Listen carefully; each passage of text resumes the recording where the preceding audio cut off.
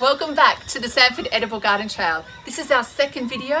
We're at Bernie and Dawn's house and we've already had a look through your wonderful backyard uh, vegetable garden and Bernie's taken us through and showing the wide variety of plants that you've got here and also the insects, beneficial and not beneficial that are growing. So, or breeding here or living here. So if you haven't seen that one, look out for that video.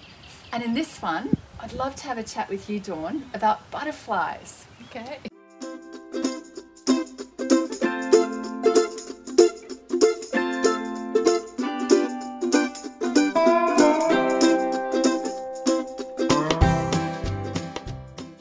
So I've got a little prop here. I don't know. I'm not actually going to catch any butterflies, but I couldn't really resist. This just looks like so much fun. it is fun. Do, do, you actually use it to catch butterflies? We do. Actually, we did a talk for the U2 level at Ferny Grove Primary School yesterday, uh -huh. and the children just loved Bernie demonstrating how to use it. I bet. Yeah. Just yeah. It's like having a kite, but you yeah. you get to collect something in yeah. the end. So I wanted, I thought we'd start with, there's a few things we're going to cover. We're going to talk about plants that you can put in your garden to attract butterflies mm. and also this amazing little project that you've got there that uh, there may be some parents who would like to do this with their children over the uh, Christmas holidays. So we'll get to that in a moment. So uh, if somebody wants to plant to attract butterflies into their garden, where do they start? Okay. What would they well, do? Where would you find info and I know that I've got a few things yes, here, yes, but yes. is this what? Okay, so the first thing, now, I'd just like to say at the beginning, I'm not the expert on butterflies and host plants, which we call the plants that the butterflies actually uh, lay their eggs on, a host plant, because it hosts the butterfly, the female. Um, but our club puts out this little book called Butterfly Host Plants, of, and it's um, purely a, there's no pictures, it's purely a list of butterfly and the plants that you can plant in your garden in this area. Uh, you go on our website and you can buy that. It's very inexpensive. It's just boic.org.au and that, that is sort of like becomes a bible for people that are really wanting to plant host plants for butterflies. But the ones that I know about and what my pet project is at the moment is trying to encourage people who live in apartments and units and that's happening more and more yes. even around like suburbs around Mitchelton, you'll see, you know, the units, and a lot of people, same age as Bernie and myself, are in a unit, and uh, you can plant host plants in big pots on your balconies that will mm -hmm. attract the butterflies to come in, and you'll be standing washing up at your kitchen sink, and if you've got a, a kumquat or a lemon tree in a big pot, you might find an orchard swallowtail will find it and come in and lay her eggs and then you can follow it through to the caterpillar, to the chrysalis, and then it'll merge and you let the butterfly go and it goes on its life cycle again. So it's sort of, um, instead of planting, I'm not saying you shouldn't plant ornamental plants, but yes, yeah, a plant that will be of interest or help, you know, the life cycle of the butterflies. Yeah, absolutely. So I've and got a you... couple of kumquats there. They're only fairly new, and Bernie's got his citrus at the back down yes. there that you've seen and we get lots of um, orchard swallowtails coming in there. And we get um, the cabbage whites that come into Bernie's cabbages. And he kills the caterpillars which I'm not too happy about. But he does because I love the cabbages. You can't have it both ways sometimes. Yeah. but um, so we've, we've got citrus. So we do see a lot of orchard swallowtails especially this time of the year because this is butterfly and what, what colour would they be they would be, um, I have a photo over here. Oh yeah, I can you grab it? Yes. Yep. Um,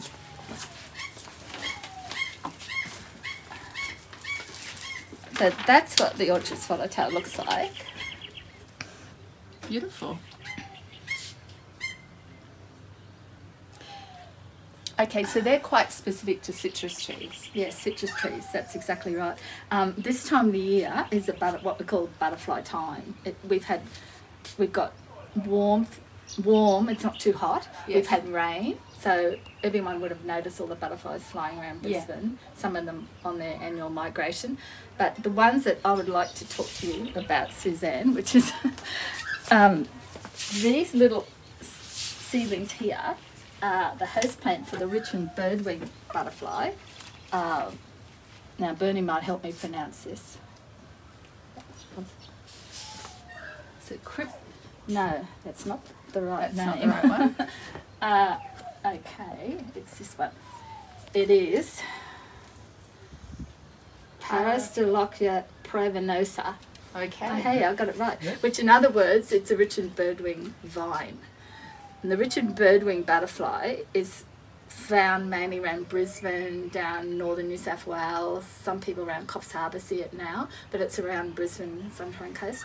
And it became just about ex- extinct. And about 20 years ago, a group, uh, about three or four entomologists got together and um, started with the funding from the government. They formed a, an organisation called the Richmond Birdwing Conservation Network. And around Brisbane, they got people to grow these vines and make corridors around Brisbane so that we could encourage the butterfly to come back into the environment around here. And it's worked really well. It's been a great success story.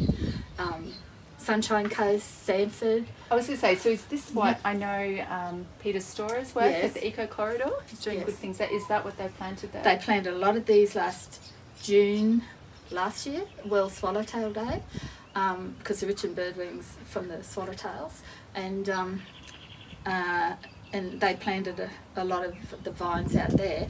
Now, because we're North Brisbane and we're in the Moreton Bay Regional Council, like you are, yeah. um, you can go to our native plant nursery at Eatons Hill called Kumbartcho and purchase these little seedlings, but they're only two dollars. yeah. These are very small. They were the last three they had, but they um, they do grow really well in pots, and you can put them in a pot on your patio with one of those cylindrical sort of trellis Yeah. things in Yeah. a pot and train it up. So you can actually, and they get a really dark green And then you leaf. can see the butterflies And come. yeah, hopefully. Well, people say to me, "Oh, Dawn, you you know that's not going to happen." but I live it, I'm an optimist, and I think if you live on a third floor apartment block, it might be equivalent to a really high vine that grows naturally in the rainforest. Okay. And if you've so- got, if yeah. we've got enough of them around, and we create a little corridor like Yeah. that, that um, it's be like an apartment corridor. yeah, so if you're interested in doing something, pop out to Kumbartcho. You know, they've got lots and lots of inexpensive. And I know Kumbartcho actually label, I've seen um, all different pictures of different butterflies and their Mm. different labels, so then you could work out which host plant for Yeah, different butterflies. That's right. Yeah, they do a good job.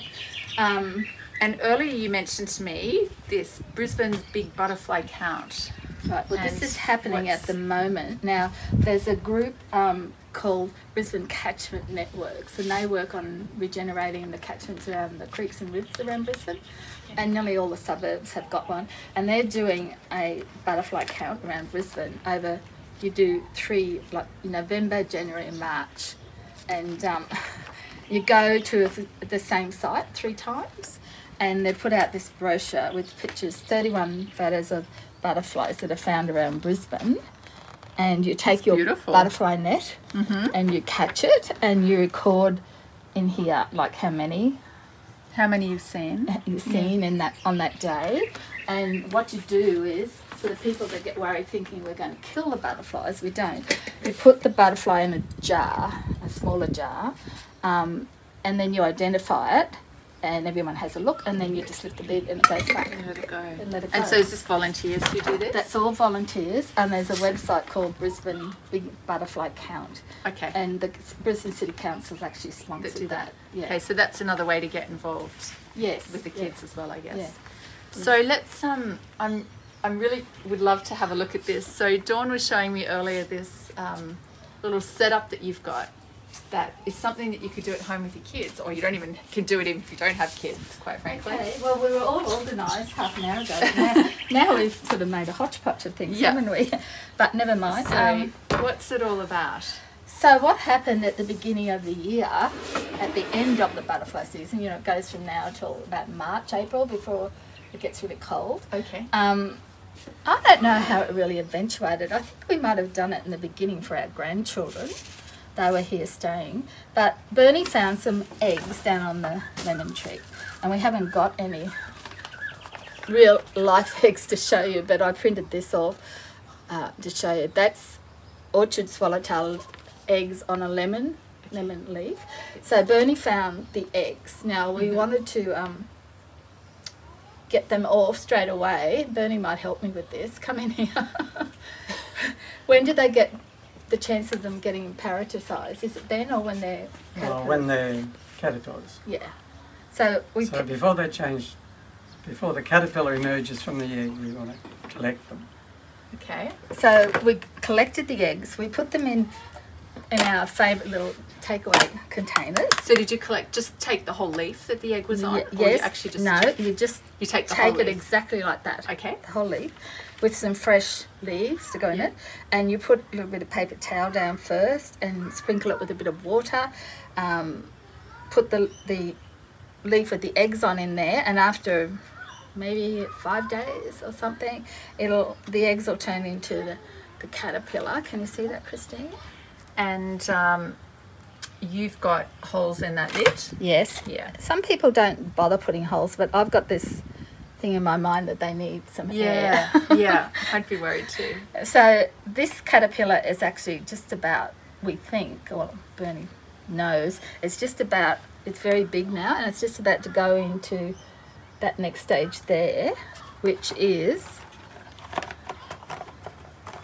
the chrysalis or pupa. Leave this off. Yeah. This is the pupa, the chrysalis for the orchard swallowtail.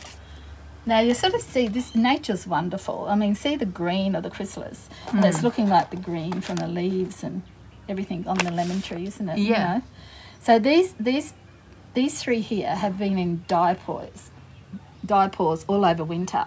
So they've been like that for about five months Which is like hibernation. hibernation Okay. because in the winter it's cold um, and they know it's not the time for them to come out because there's no nothing there for them to feed on so they'll Okay, stay there so until it warms wait. up so we brought them out from inside where we had them brought them out here about a week ago and i spray them once a day like this with a bit of water trying to trick them into thinking that it's raining How did you get them on the stick? Okay, so when you put them in here in the boxes and you see the caterpillars starting to grow, get rather big, it's important that you pick. Uh, I should tell you first before I go into that.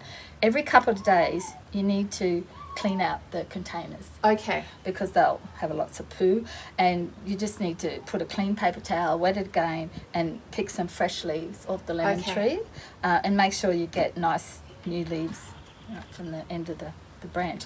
And as they get bigger, pick um, a bit of branch that's sort of long like that, so that as the caterpillar is starting to go to the next stage, they will um, spin out a little white thread that attaches the caterpillar to the the Okay. the So it's branch. naturally going to gravitate to the one Yes, that's yeah. got the little and see stick. this, these ones here, they were once upon a time green, twi- Oh, yeah. uh, Yeah. you know, lemon branches, twigs, whatever you want to call it. Yeah, sure. And they've And- gone brown and- over time. Yeah, and they've they stay there until they emerge. Okay. Now, And then getting to this little cage, is that what you're wanting me to tell everybody? I Well, just- you've stuck it into some foam, so that's just a way of just Yeah, keeping them vertical. Poly- yes. Polystyrene. right, and- and And then this is to catch them when they come out. Is this? That's right, in case you, you can't always be there when they're going to emerge. So um, we check it a couple of times a day. But this is something that I feel is really inexpensive for parents to do with their children. The children can probably do it themselves in the school holidays and see the whole life cycle of the, Yeah. the butterfly. In this case, we're talking about the orchard swallowtail. So Bernie just got some wire from his shed. I always criticise him for saving all this Oh, there's the stuff. The things in the shed. It comes handy. So he he went joined that up for me. Um, we got this old netting from my sewing box, and Bernie over many years has got lots of little interesting clamps.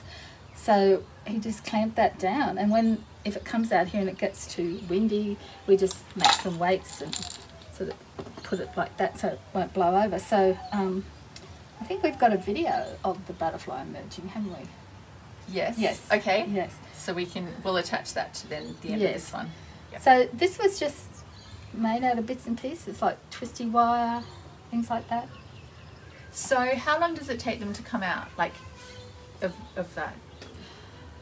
Well, first of all, Like if you were wanting to actually see them come out, oh, uh, yes. do you just have to be lucky and get the right time? Well, there are signs. Um, they're nice and green now, but they usually turn brown. I think, don't they? They change colour. Uh, Before, say the day before they're ready to emerge, you can start to see the colours of the adult, of the butterfly, i-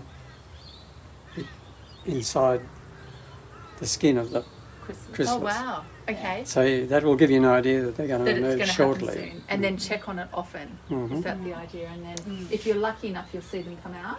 But otherwise, you'll come back one day and you'll Yeah. see a little butterfly Yeah. in this. Yeah, In and, here, and and then you because can let it go. this is sort of um, soft and everything, they don't do a lot of damage to themselves Yeah. because we wouldn't let them stay in there. Yeah. Um, we're not going to pin them and put them in collections or anything. We're just No, no. doing the life cycle thing. yeah, sure. So they come out. hobby. They come out, and then you let them go. And we let them go, And and, it starts all over again. But it, Oh, it's wonderful. um, yeah, it's a it's fun little thing to do. a fun little thing for the children to do. And Okay. nearly everyone's got a lemon tree. Maybe if you haven't got one, your neighbours have got a lemon tree. Okay, so if people looked out now, though, would they see the um, eggs out there now? Yeah. Okay, Yeah. right. On the on the citrus. yeah, okay. Yeah. So you've just got to go. So even though you did this early in the year, they it's just a continual cycle. Yeah, so you go to the, your lemon tree and pick, go to the new growth Yeah. on the end, nice um, new leaves, pale in colour, not really dark green ones, and have a look. That's where they tend to lay their eggs underneath the the new leaves. Okay, and And it looks just like that. Lay their eggs and Well, that looks like a fun project to do over Christmas, and the kids can get involved and learn a little bit more about butterflies and about the garden. Hmm. And thank you for sharing that and for sharing your passion for butterflies. so, if people would like to kind of get involved in butterflies in Brisbane, they could go to boic.com.au, mm-hmm. the mm-hmm. website, and get involved with the other volunteers. And we've got lots of information for on beetles and as well as butterflies on there. Inexpensive little things for people to buy for their children. sounds like volunteers are doing a lot of good things. Yeah. Yeah, it's all volunteer. Okay. Well, thank you very much for showing us uh, your butterflies and for your garden, Bernie, as well. It's been wonderful to come and visit you and just see how much you can actually grow in a suburban backyard and to get a little bit more uh, insight into the world of insects and butterflies. So I'm going to go back and check out my garden and start looking for looking for butterfly eggs. So thank you. I keep joining us on the trail and join in every two weeks. We go and visit a new garden. Hope you enjoyed that video and we'll see you next time.